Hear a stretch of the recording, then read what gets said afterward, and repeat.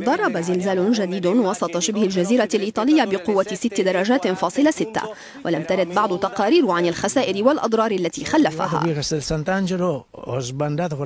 هيئة المسح الجيولوجي الأمريكية قالت إن مركز الزلزال يبعد نحو 70 كيلومترا إلى الجنوب الشرقي من مدينة بيروجيا وبأنه على عمق 10 كيلومترات.